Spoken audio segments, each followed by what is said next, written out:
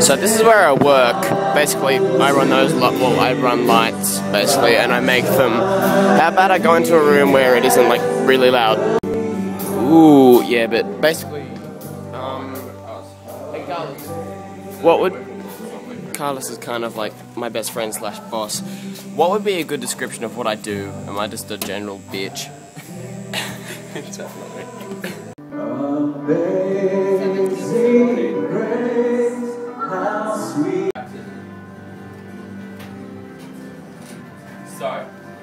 that state, keep the orange, go to set. Right there. That's Luke. He's, he's a cutie.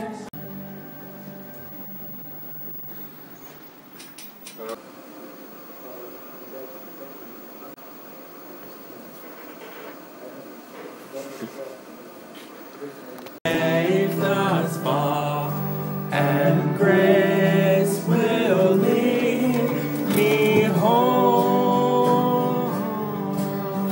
Okay,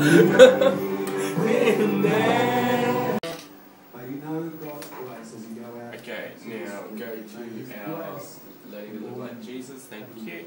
And do a pull out, please, Luke. Sorry. Oh, come on, pull out, pull out, pull out, pull out, pull out. Sorry. So apparently, when Karlis says I need to video something, it he really means it. So, whatever he's doing, it's going to be fantastic. One sec. Uh.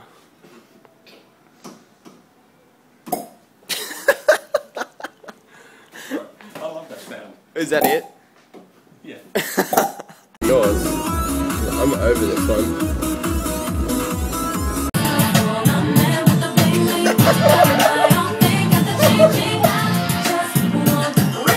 His subwoofer doubles up as a aircon.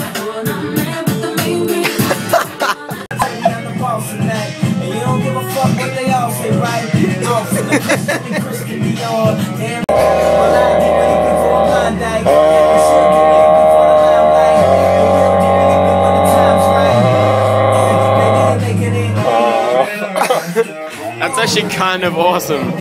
So, if you get a pie and you don't know what to put on the pie, you're always welcome to put the word dick. Yeah! Shit. I didn't turn the video off. So, I want to cook something, but my parents won't let me use a stove because I'm a complete idiot. So, I'm just gonna make some cookie dough without using a stove because you don't need a stove for cooking dough.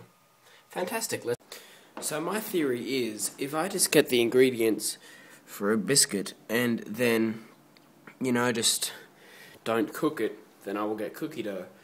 That seems logical, right? Yeah, I think that'll work. Let's give it a shot. Let's get started. So it says that I need 125 grams of butter, and I've got perfectly 125 grams. Unfortunately, it looks like shit. So it doesn't say milk anywhere on the ingredients, but yeah, it's really floury and dry. So I guess this, just that, I guess that won't hurt, will it? And now we have cookie dough. Fantastic. Oh, there's still some in there.